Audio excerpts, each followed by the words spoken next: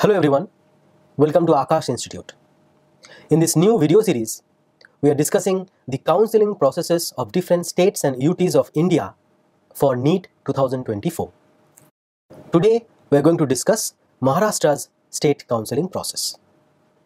You can visit this website for more information on the same. Let's first look at the MBBS seat matrix of Maharashtra.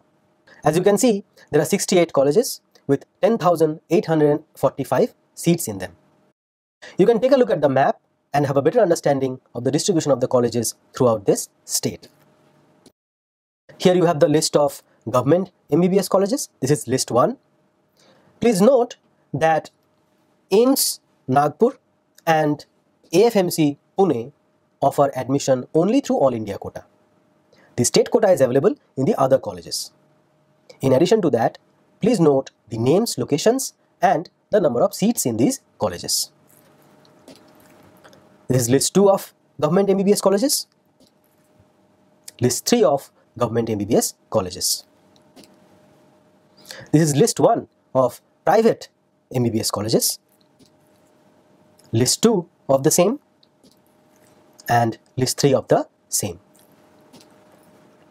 Now we look at the BDS seat matrix of Maharashtra. As you can see, there are 38 BDS colleges with 3626 seats in them. Please take a look at the map to get an idea how these colleges are distributed throughout this state. Here you have the government BDS college list.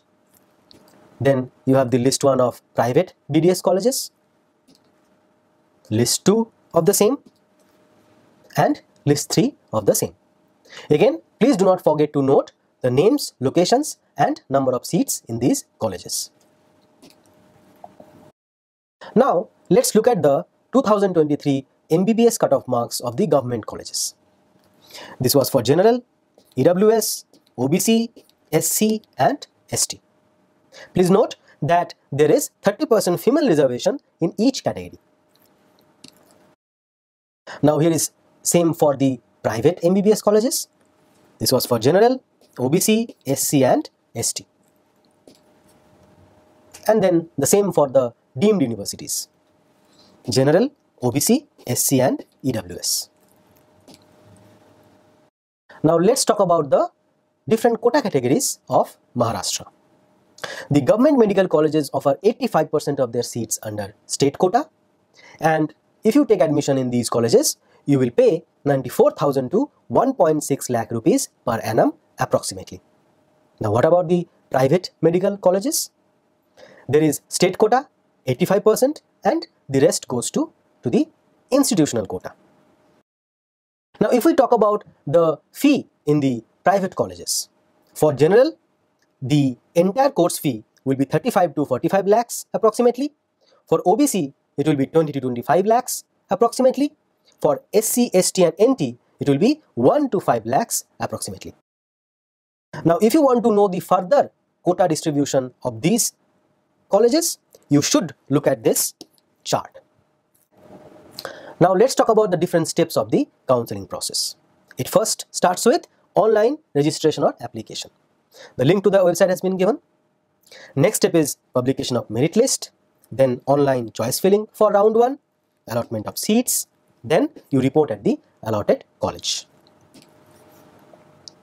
Next is eligibility criteria. For the seats reserved for the localites of Maharashtra, the candidate must have the domicile certificate of Maharashtra. The candidate must have passed the SSC, which is 10th, and HSC, which is 12th, from an institution situated in Maharashtra. Remember, this is an open state so students from other states can also take admission in this state even after exhausting the 15% All India quota. Now let's look at the list of documents required for the counseling. Qualifying examination mark sheet and certificates 10th and 12th, NEET UG mark sheet, domicile certificate if applicable, category certificate, EWS, OBC, SC, ST if applicable, PWD certificate if applicable, passport size photographs and then government ID proof. Now we will talk about the scholarships. Yes, the state offers scholarship and there are various authorities who do that.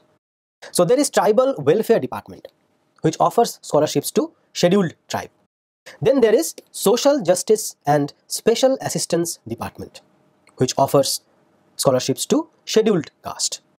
Then there is Vimukta Jati, Nomadic Tribes, Other Backward Class and Special Backward Class Welfare Department, which offers scholarship to VJ, NT1, NT2, NT3, SBC and OBC candidates.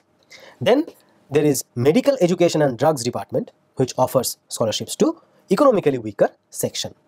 You can visit this website for more information on the same. Now let's look at the service bond here in Maharashtra. You have to serve the government for one year after completing the medical course or you will have to pay 10 lakh rupees as penalty.